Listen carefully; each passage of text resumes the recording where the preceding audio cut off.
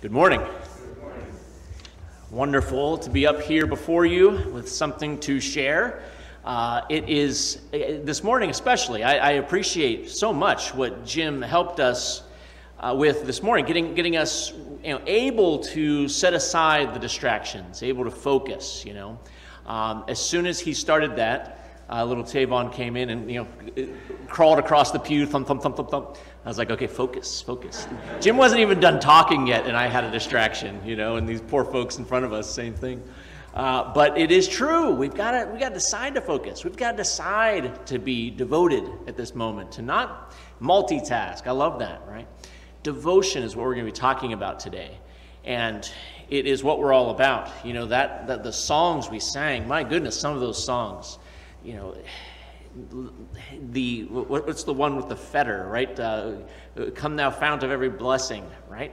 I mean, we, we basically said, let your goodness, like a fetter, like something, like chains, like a binding, bind my wandering heart to thee. I don't want to wander anymore. Keep me from wandering.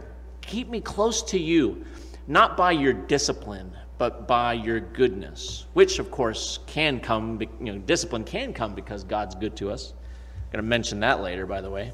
Uh, but it is God's goodness. It is His amazing blessing in our lives. It is the true motivator, the one that gets us moving. Uh, this sermon series is about Jesus, so I am. I, it, there's a, there's a certain lightness in your step when you know you're going to be sharing a story about the actual you know Savior, our, our, the Lord, the one we came here because we follow Him every day. So be, before we begin that lesson, let's go to the Father in prayer. Dear Lord, we thank you that you gave us examples of the kind of disciple you want us to be in your word. You show us people who, with their whole hearts, followed you, uh, were open to you, listened to you, uh, gave precious things to you. And we ask, Father, that you would help our hearts to be in the same mode. Help us to honor you, help us to love you, help us to offer to you what we can from our lives. We pray this in Jesus' name. Amen. This sermon series uh, I've called Seven Days Before the Cross. Interesting factoid I did almost the same thing two years ago, and I had forgotten that. It wasn't exactly called this, but it, w- it looked at you know, the last week of Jesus' life. And then I went back, and Jim Fields taught a class in 2012 all about the last week of Jesus' life. And in 2010, we did an entire church-wide class and sermon combination about like the last week of Jesus' life. So, you guys should know what we're talking about, right?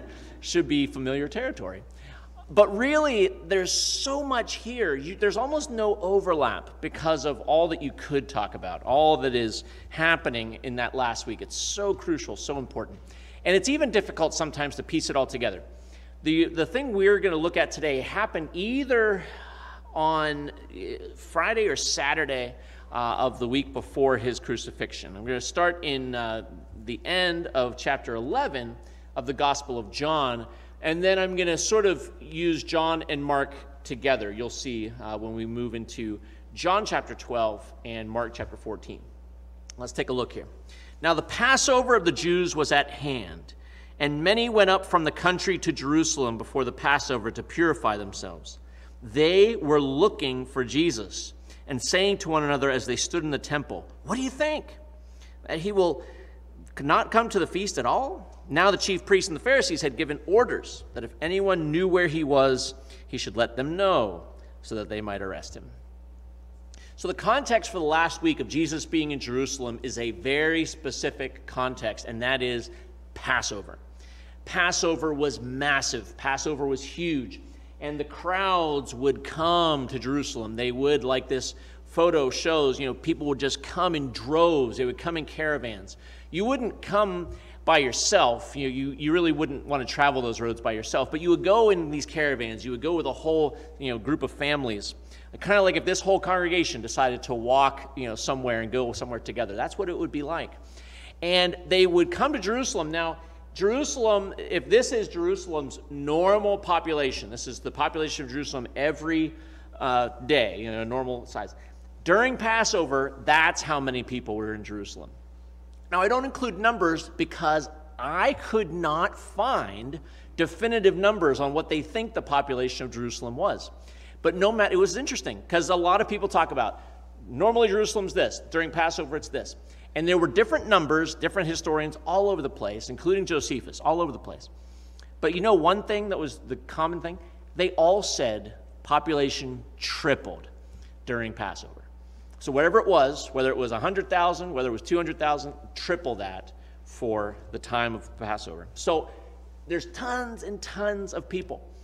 And they come and they set up tents, they stay with relatives.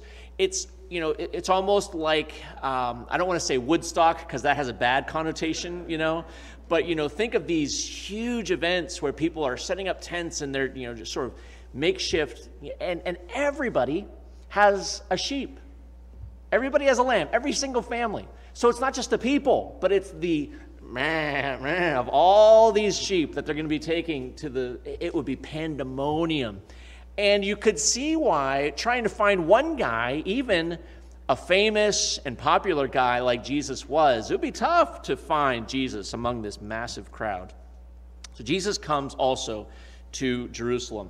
But he doesn't stay in Jerusalem, at least at the beginning. He goes to a nearby spot. Six days before the Passover, Jesus therefore came to Bethany, where Lazarus was, whom Jesus had raised from the dead. So they gave a dinner for him there. Martha served, and Lazarus was one of those reclining with him at table.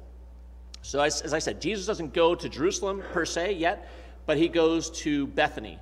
Now, how close was that? How, how far away? What are we talking about? Um, as I looked at it, if we were to walk to Stanford, all right, so from Stanford to here was how close Bethany was. I mean, it's kind of like the same neighborhood. It's really uh, on the other side of the Mount of Olives. It's very, very close. Uh, about a half hour walk. I, for me, it would take a lot longer. For some of you, it would be a lot shorter. Uh, Samuel and Brian could get there in about 10 minutes. All right, so. Uh, or, or Andrew with his, you know, running, right, Andrew? But that's how, it's, it's very close. So it's, it's not like they, you know, he's not, he's gone to a far off town. It's very, very close. Uh, but he goes to the home of Mary, Martha, and Lazarus. And if you were reading the Gospel of John, you would have remembered just the chapter before. This is the Lazarus, he, as he says, he raised him from the dead. He had died. Now, the first mention of Mary and Martha, Jesus visits them, and Mary listens, remember, while Martha is serving. She's doing the, the household serving. That's in Luke chapter 10. And Martha says to Jesus, Aren't you going to tell her to come help me? And you know, Jesus says, I'm not going to take this away from her. The second mention is the chapter before the death and then the rising of Lazarus. An amazing moment. Uh, it is not a, a, resurrection per se, it's more of a resuscitation. It's bringing his actual body back to life. We're not going to go into the details of that, but resurrection is going to be important in a few weeks here as we get to Jesus, right? But Lazarus has been brought back to life, and he's there reclining at the table. And then, of course, this is the third mention this visit before Passover. So he's come to the house, and it says they're friends. You know, he, the, these folks are his friends. And he treats the disciples like friends, and these guys are disciples, but they don't seem to be following Jesus around. But it's like their house is always open for Jesus and the 12 to come and stay with them whenever they're in town. And so they arrive. So, since Lazarus has just been raised from the dead, that keep that in mind as we move into this next moment. Because how would you feel? What if it was your brother and he died? He was dead three days in the tomb. And they come and Jesus calls him out of the tomb and they take the burial garments off of him. And he's with you again. And he's back and he's sitting around the table with you. That's the person that's now coming to your house. Mary, the one who in Luke chapter 10 was the, right at the feet of Jesus listening, she decides to do something special. Mary, therefore, I love that therefore, right? Jesus comes, this he's there with Lazarus, so of course, Mary, therefore, does something here. Mary, therefore, took a pound of expensive ointment made from pure nard, and anointed the feet of Jesus and wiped his feet with her hair. The house was filled with the fragrance of the perfume. Now, I believe this same moment is what's being described in Mark chapter 14 It just has no names, right? So it has, as he was reclining at table, a woman came with an alabaster flask of ointment and of pure nard, very costly, and she broke the flask and poured it over his head. So if we combine all the details, we have Mary who comes with this alabaster jar, this alabaster flask. And she comes to Jesus and she breaks it and she anoints his feet, according to John, and his head, according to Mark. She wants to make sure this goes to Jesus. And it's very costly. We're about to find out how costly it is because somebody's going to talk about it. But it is 300 denarii. One denarius is a day's wages for a laborer. Okay? So 300 denarii is about a year's wages.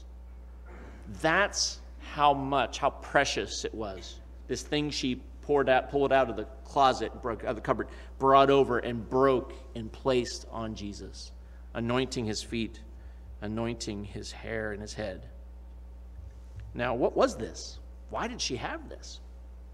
Most commentators look at this and say, this seems like or looks like what in the financial world is called a nest egg. You ever hear that term from finances, right? Many of you have that very much on your minds right now. If you retire and you have something, this is how they define it a substantial sum of money or other assets that have been saved or invested for a specific purpose. Such assets are generally earmarked for longer term objectives. The term can also refer to money kept aside as a reserve to deal with unexpected emergencies. Your nest egg is that solid thing, that, that thing that you hold in reserve, the thing that's going to get me through my twilight years, the thing that's going to get me through any emergency that comes up. I have this as a security. And commentators are saying that sounds like what she brought out. To give an illustration, the, the film Sommersby that came out in the early 90s, there's a town and their crops are failing, things are not going well, cotton is not working out. And they had this idea we should start planting tobacco and see how that goes for us. The whole town's going to do it. And so they say, well, how are we going to afford seed? We can't just invent cash that we have. And one of the guys from the town says, look, I know everybody is sitting on a little something. You got something that you could turn into cash. We could buy this seed and get things going. And the main character, Jodie Foster's character, uh, says this Well, I got a ruby brooch worth a $1,000. It's been in my family for a 100 years, but I can't eat it, and neither can my family. So she takes her brooch, and other people take their nest egg, their little thing they've been sitting on, and they turn it into cash, and it saves the town. They start to prosper again. That, that is what Mary brings to Jesus. Mary anoints Jesus as an act of devotion, gratitude, humility, and sacrifice. Sacrifice because she thought, Jesus is coming to my house. What can I offer? What can I do for him? Well, I have, I have this, this most precious thing, the thing that I could, I, I could sell and then be you know, okay for, for, a good long time. This is my, my nest egg. This thing I'm sitting on, I, I'm going to give that to him. He deserves it. So she brings it out in total devotion, total gratitude. That's why I chose the theme scripture, because her attitude is exactly what the writer of Hebrews is calling us to have in our attitude. Therefore, let us be grateful for receiving a kingdom that cannot be shaken, and thus let us offer to God acceptable worship with reverence and awe, for our God is a consuming fire. That's her at this moment. She is so overwhelmed with gratitude, what He has done for me, what He has shown us. And now I've, what do I have? I'm going to offer that, that one thing, the most valuable thing I have. I'm giving it to Him. That's Mary, and that's Mary's heart. I wish that was the end of the story. Don't you? I wish it just ended there and we move on to the next wonderful thing that Jesus does before the crucifixion, right? As he moves through Jerusalem. That's not the end of this scene, okay? Because, uh, but Judas Iscariot, one of his disciples, he who was about to betray him, said, Why was this ointment not sold for 300 denarii and given to the poor? He said this not because he cared about the poor, but because he was a thief, and having charge of the money bag, he used to help himself to what was put into it. Now let's go to Mark to find out it wasn't just Judas, okay? There were some, plural, who said to themselves, plural, indignantly, Why was the ointment wasted like that? For this ointment could have been sold for more than 300 denarii and given to the poor, and they scolded her. Not just like ice water, right? I don't even like to read it. Pouring that cold water over a beautiful moment.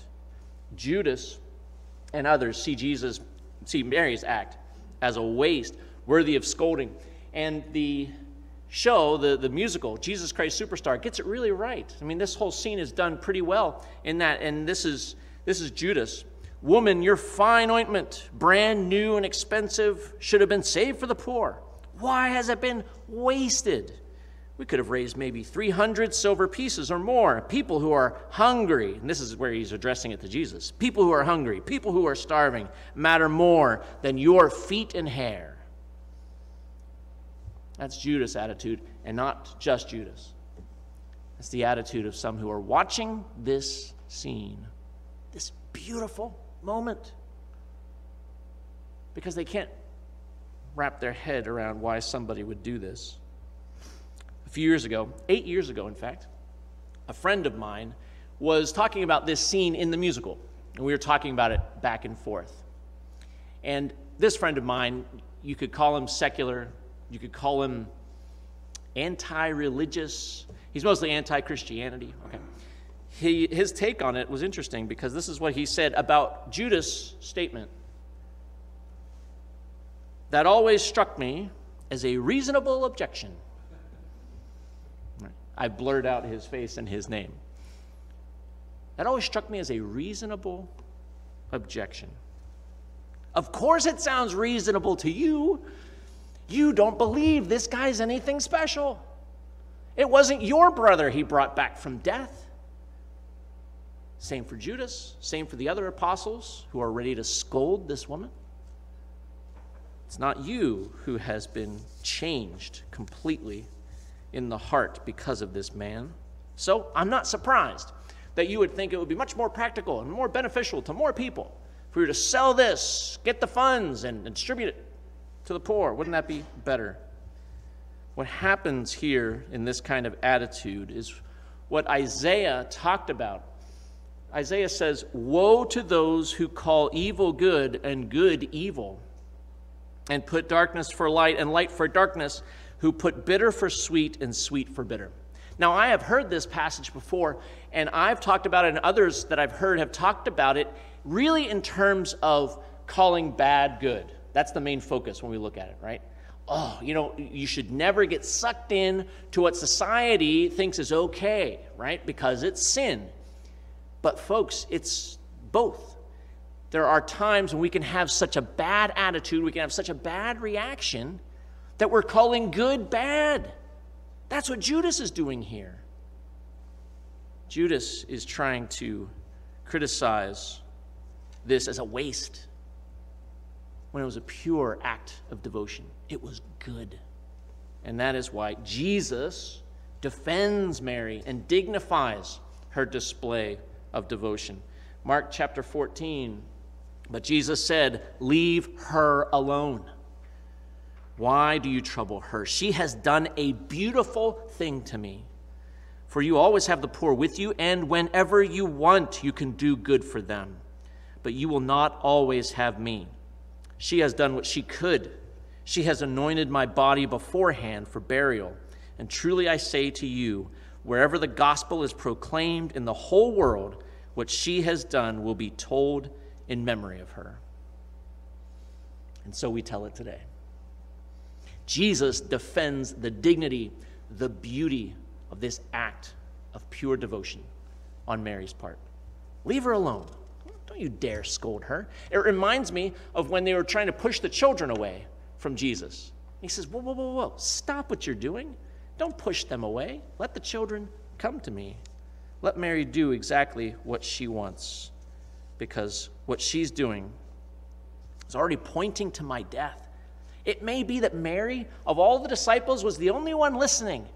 All those times when he kept saying, You know, I'm about to go die. I'm about to go die. I'm going to go die at the hands of the Gentiles. I'm, I'm going to be dying soon. And they say, Wow, I really wonder what he means when he's talking about dying. And Mary says, Maybe he's going to die. Maybe we need to do something now to show our love and devotion to him. So, what about for us when we look at the comparison, Mary's reaction, Judas' reaction? Well, first of all, for us, number one, the beauty of devotion will be seen in more than words. Mary does not speak here. She also doesn't speak in Luke chapter 10 when Martha is saying, Jesus, why aren't you scolding my sister? She's scolded in John chapter 12 and Mark chapter 14, but she never speaks. She offers this devotion, not with words, not just saying, Oh, Jesus, I really think you're great, but showing Jesus how great he is to her by this act of gratitude, this act of sacrifice. Most of the time, words are just so much easier. Again, Isaiah and the Lord said, This people draw near with their mouth and honor me with their lips, while their hearts are far from me. That's not Mary. Mary's not just somebody who acknowledges Jesus with her lips. She acknowledges Jesus with what is truly most precious to her in her life, gives it to him, gives it to him in a risky, wasteful way to just try to get that devotion across. That should be our attitude as well. Number two, God's approval is the only concern when it comes to devotion. That's all we really need to worry about. What does God think? Too often, when we have an idea or we have a way that we're going to go and we're going to serve on God's behalf or in Jesus' name, we start to think, yeah, but I mean, what's everybody going to think? You know what? Will it catch on? Will, will it be something that everybody's going to say was a good job? And Mary says, that just doesn't matter. Devotion to God, all that matters in that case is God's approval. If it's what He wants, then it should be what we're about. Number three, acts of devotion carry the risk of meeting scorn. This is the sad reality, not just in Jesus' time, but in our time as well. Uh, let me give you an example. The cathedral in Strasbourg, it's currently, it's currently in France. It's sometimes in France and sometimes it's in Germany depending on whether the Germans really want that territory or not. I think it's in France now, but it's very German France. It's both, right?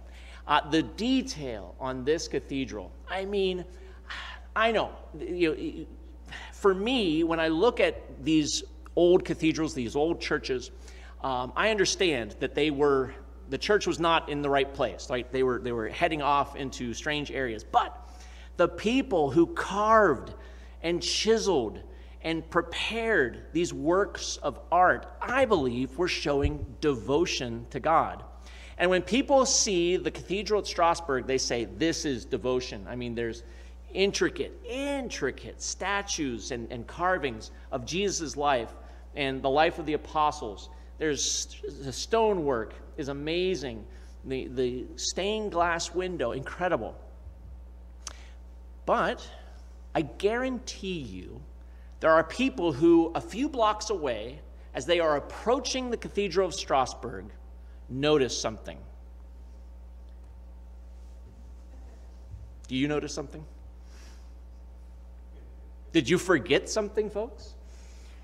Originally, the plan was to have two bell towers, and they never got around to building the second. So I can imagine somebody walking saying, I've heard the amazing Cathedral of Strasbourg. Are you kidding me?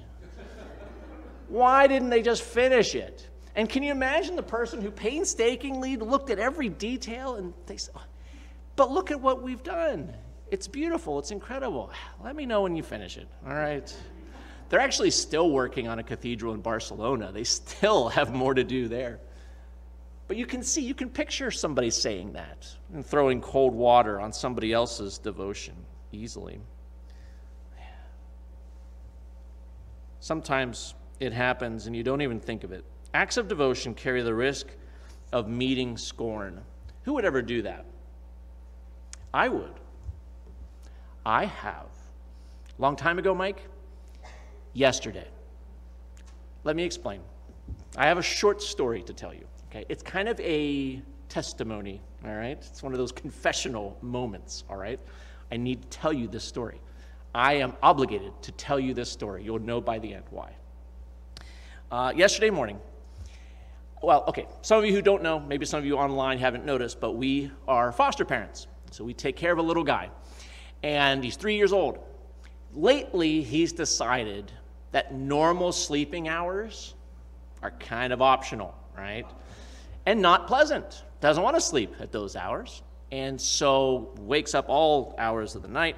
Um, I try to help with that, but he's crying for Shauna. So what can I do, right? Uh, literally, it is difficult sometimes because I'll go in and the screaming only gets louder because that's not the person he was asking for. And so that person he is asking for, the lovely Shauna, has to make her way in.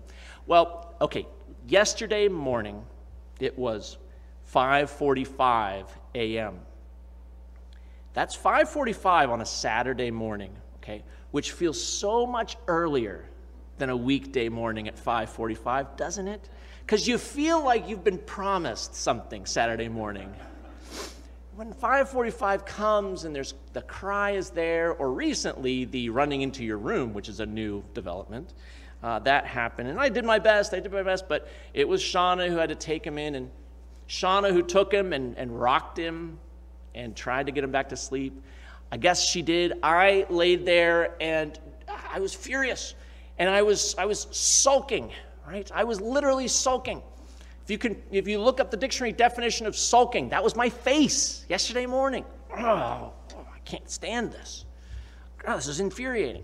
Finally, by, I don't know, 6.30, 7 o'clock, I make my way downstairs because I realized my sulking wasn't being seen by anybody. Everybody was missing some of my best faces and, and grunts of, of displeasure, so I came downstairs to sulk and I, I started blasting. This is, this is not any kind of way to live. This is misery. This is not sustainable. I try to persuade people for a living.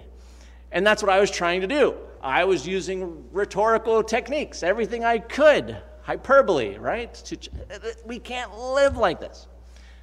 Now, my lovely wife, who was the one, by the way, who got out of bed, could have said, Oh, you're the one who can't live this way? But she did not. She nodded her head, and said, Yes, this is difficult. This is difficult. This is tough. So I sulk my way to the computer where I open things up and I start working on today's sermon. And I'm moving along and I'm moving along and I'm typing brilliant things and it's all wonderful and great. And then I come to number four that I type. And number four says, discouraging, heartfelt acts of devotion puts you with Judas, not Jesus. And I, I looked up from my computer, and it was as if the Holy Spirit literally smacked me across the face. And I think he kind of did in a loving, chiding kind of way. The Lord loves the you know, disciplines those he loves. I was getting it across the face, folks. He must really love me. Because I missed it. I was literally discouraging an act of devotion. I was standing in the place of Judas. Shauna wants me to say, because I told her I was going to talk about this, she wants me to say, she's had her struggles too, right? Like twice compared to my daily struggles. But that's the thing. And why would that ever happen, right? let's take a different context, right? Let's say somebody's doing work here in the church. Why would somebody ever discourage a heartfelt act of devotion, there can be all kinds of reasons. Maybe you feel like you should be doing more. And so you look at them and you say, ugh, uh, don't bother, right? Let's, let's not even worry about that. You're wasting your time. It's a waste of time. You're literally saying words that Judas said. And so we got to watch ourselves. Discouraging somebody. First Thessalonians, it simply says, do not quench the spirit. And who knows what Paul meant there, but I think he had this in mind that we can throw cold water on what the Spirit has done in somebody else's heart as they're out there serving, as they're out there working. And for whatever reason, we decide we're going to be the practical ones. We're going to be the re- we're going to make a reasonable argument against what they're doing and seeing it as wasteful or as superfluous. Don't quench the spirit. So of course I had to tell that story. I'm I'm obligated because the Spirit moved, smacked me across the face. So let's not stand in the place of Judas. Let's stand in the place of Mary. And I want you to imagine, as the last point here, imagine a church full of disciples like Mary, full of disciples ready to respond in gratitude, ready to respond with an act of devotion. What can I bring? The old devotional book that many of you have probably read or looked at was called My Utmost for his highest. My utmost. What can I give? What can I bring? What do I have? What am I sitting on? What's in my cupboard that I can bring out for him? And maybe for some of you, it's actually your, your time that's very precious to you. And some of you, I have seen you give your time to him in service to this body. And I appreciate it. We could use an entire church full of women like Mary, disciples like Mary, who are simply and riskingly, you know, going out there in, in spite of potential scorn, having the right attitude and simply saying, I'm going to give him my all. I'm going to give him my best. That's our lesson this morning. If you today need to respond to a God who says, I want you and I want your whole heart, I don't want part of you. I don't want you just on Sundays. I want you to give your all to me because He gave His all. This whole sermon series is leading us to that moment where Jesus offers Himself for us, makes it possible for us to not walk a sin life anymore, but have that, that replaced and rejuvenated and transformed into a new life where we walk confidence with God. If you need to respond to Him, then come as we stand and sing.